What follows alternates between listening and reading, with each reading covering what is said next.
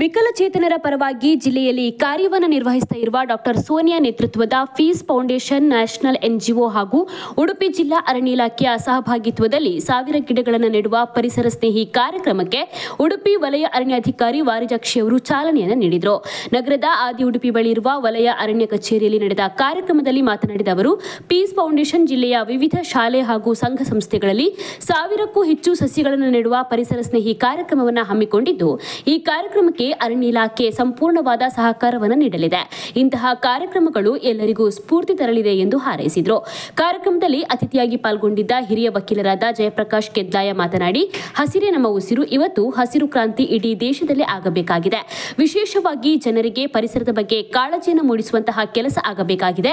ಆದಷ್ಟು ಶಾಲಾ, ಕಾಲೇಜು, ಖಾಲಿ ಜಾಗದಲ್ಲಿ ಮರಗಳನ್ನು ನೆಟ್ಟು ಬೆಳೆಸಿದ್ದಲ್ಲಿ ನಮ್ಮ ಜೀವನ ಸಾರ್ಥಕವೆನಿಸಿದೆ ಇವತ್ತು ವಿಕಲಚೇತನ ಎಲ್ಲರೂ ಕೂಡ ಒಗ್ಗೂಡಿ ಸಾವಿರ ಗಿಡಗಳನ್ನು ನೆಡುವ ಮೂಲಕ ಹಸಿರು ಕ್ರಾಂತಿಗೆ ಮುಂದಾಗಿರೋದು ಸಂತೋಷದ ವಿಚಾರ ಅಂತ ಹೇಳಿದರು. ಬಳಿಕ ಆದಿ ಉಡುಪಿ ಶಾಲಾ ವಠಾರದಲ್ಲಿ ಸಸಿಗಳನ್ನು ನೆಡುವ ಮೂಲಕ ಕಾರ್ಯಕ್ರಮಕ್ಕೆ ವಿದ್ಯುಕ್ತವಾದ ಚಾಲನೆಯನ್ನು ಕೂಡ ನೀಡಲಾಯಿತು. ಕಾರ್ಯಕ್ರಮದಲ್ಲಿ ಜಿಲ್ಲಾ ವಿಕಲಚೇತನ ಹಾಗೂ ಹಿರಿಯ ನಾಗರಿಕ ಸಬಲೀಕರಣ ಇಲಾಖೆಯ ಯೋಜನಾ ಸಹಾಯಕರಾದ ಶಿವಾಜಿ, ಪೀಸ್ ಫೌಂಡೇಶನ್ ಸಂಸ್ಥೆಯ ಜಗದೀಶ್ ಭಟ್, ಉದ್ಯಮಿಗಳಾದ ಸ್ಟ್ಯಾನ್ಲಿ, ಪತ್ರಕರ್ತರಾದ ಜನಾರ್ದನ್ ಕೊಡವೂರು, ಶಿಜಿತ್, ಕಲಾವಿದರಾದ ಸಂದೇಶ್, ಯುವ ಉದ್ಯಮಿಗಳಾದ ಕೆ ಸಂದೀಪ್ ಉಪಸ್ಥಿತರಿದ್ದರು.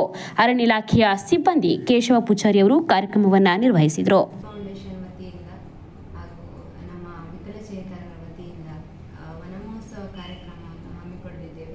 ಅವರು ಅವರ ಮನೋ, ಮನೋಬಲದ ಮೂಲಕ ಒಂದು ಸಾವಿರ ವಿವಿಧ ಸ್ಕೂಲ್ಗಳಲ್ಲಿ ಹಾಗೂ ಸರ್ಕಾರಿ ಸಂಘ ಸಂಸ್ಥೆಗಳಲ್ಲಿ ನೆಡಲಿಕ್ಕೆ ಅವರು ಕಾರ್ಯಕ್ರಮವನ್ನು ಹಮ್ಮಿಕೊಂಡಿದ್ದಾರೆ.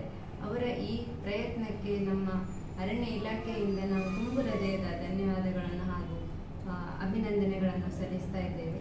ಇವರ ಈ ಕೆಲಸವನ್ನು, ಕೆಲಸ ಎಲ್ಲ ಜನರಿಗೂ ಸ್ಫೂರ್ತಿಯಾಗಲಿ. ಇನ್ನೂ ಹೆಚ್ಚಿನ ಪರಿಸರ ಸಂರಕ್ಷಣೆಯ ಬಗ್ಗೆ ಎಲ್ಲರೂ ಗಮನ ಕೊಡಲಿ ಅಂತ ನಮ್ಮಲ್ಲಿ ಕೇಳ್ಕೊಳ್ತಾ ಇದ್ದೇವೆ.